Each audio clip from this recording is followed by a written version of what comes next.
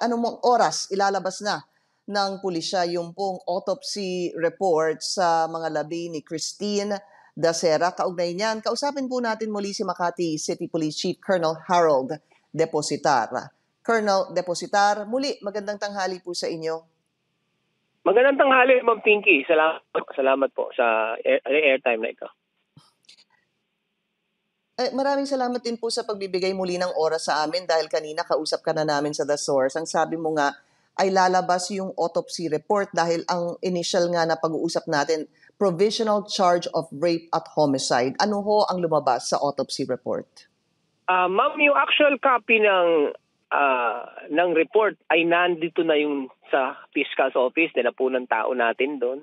And uh, kukuha po tayo ng copy. After that, then we will determine kung ano talaga yung mga nitty-gritty na nakikita nila doon. No? Pero ang importante, nahabol natin sa court na makapag-submit tayo on time autopsy at saka yung SOCO report po. Mm-hmm. Nasa kanila po ngayon. So wala pa po tayong mm-hmm. copy. Uh, we make sure na makakuha tayo ng uh, copy nito and uh, we will uh, provide you yung mga details na makikita natin dito.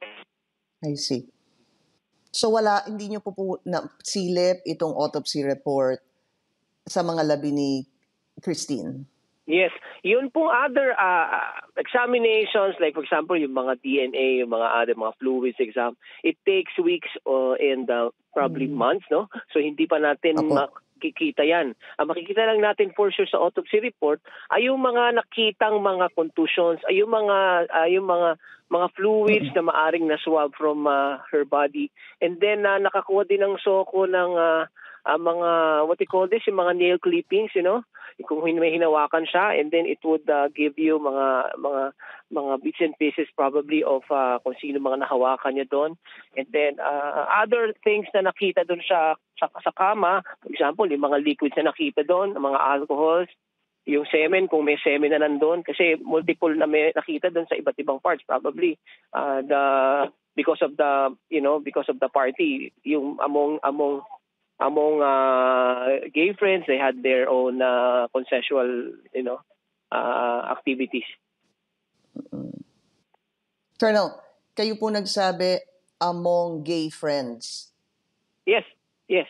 Because they are admittedly gay. Uh, you ask all the suspects, if you po. talk to them, talagang they are they're talagang gay. Uh, and then may iba pang gays. Ang ang mm-hmm. the problem nga dito I think nakita ko lang is uh, they did not ano hinayaan nila yung nangyari.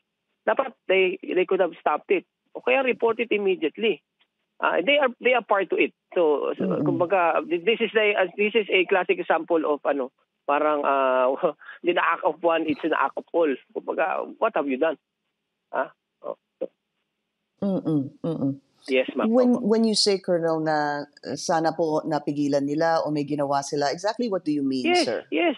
Well, Unang-una, uh, hmm. sabi ni Romel, nung, nung friend niya na cabin crew, nakita niya si Christy nasa bathtub and deeply breathing.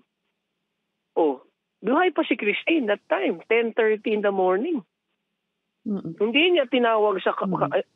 Inintay niya, natulog siya ulit.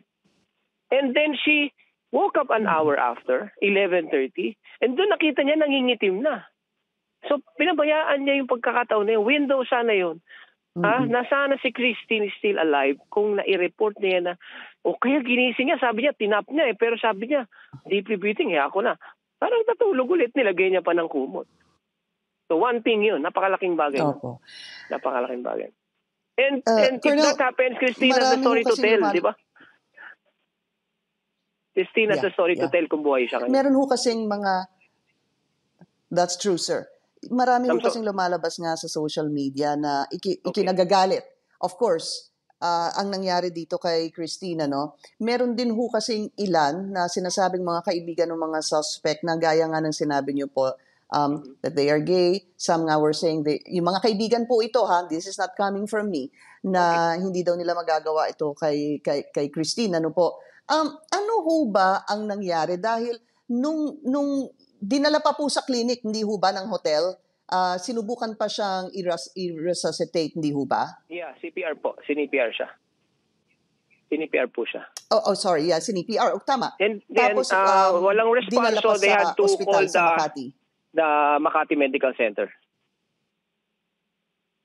Okay. Hello. Sino po ang nagdala sa Makati Sila. Medical Center? Ah, yung po dalawang friend niya. pa rin Oo, si De La Serna at saka si ano si Romel and then yung security manager they brought her to the Makati Med. Opo. And then yung natira po na iba na mga suspect, nawala na ho silang lahat. Opo, nawala na po sila. Iba po mas maaga umalis. Meron silang kasama na bumuhat pa, apat sila. I see. And then binitawan binitawan nila pag nung sasakay na humanap ng taxi itong dalawa. Nag ano din, sumibat na din. Okay. Si ma- marami ho sigurong rason doon, pwedeng takot, pwedeng ah, it could be a number Yeah. of reasons. Um That's correct. so pagpunta po sa pu- police station, ilan na lang ho yung inyong dinala sa police station? Meron ho kasi lumalabas sa social media, lima daw yung nadala sa police Hindi, station at hindi dalawa po. daw Meron na napakawalan dala tayong dahil tatlo. Meron daw abogado. In-invite, siyempre in-invite natin, di ba? Pinagpapaliwanag. Ano nangyari? Tinatanong. Okay. Tatlo po yun, tatlo. May isa pang... At ang, ang nangyari naman dito is because wala pa naman tayong holding sa kanila. Unang-una, tinitignan pa yung ano kasi, di ba, nandun lang. Nandun lang sila sa investigation room. Ah, one way or another, sumalis itong isa. Kaya yung dalawa na iwan. Ah, ganun po.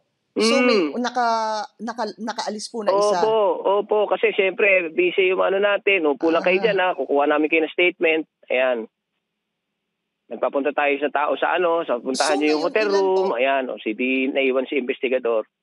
O, biglang sumalisi yung isa. Mm. So, naiwan tong dalawang kaibigan.